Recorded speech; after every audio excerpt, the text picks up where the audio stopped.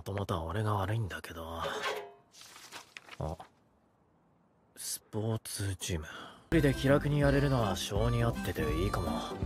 モヤモヤを晴らすためにはうってつけだし。お富士山ええ？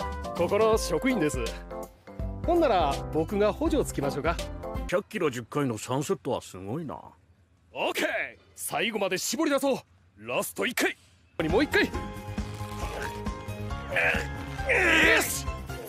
ほんまのラス1頑張れ！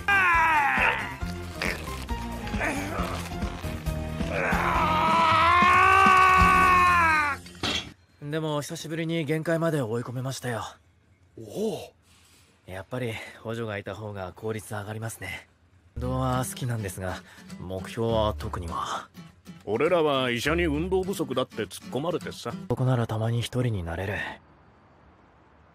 ただいまおかえりお父さんおおおもうお腹ペコペコや。母さん先輩がまた料理教えてほしいって。大丈夫。準備しておくわね。根性ある子やね。将来ええ嫁さんになれそうやな。先輩男だよ。お父さんも会ってみたいな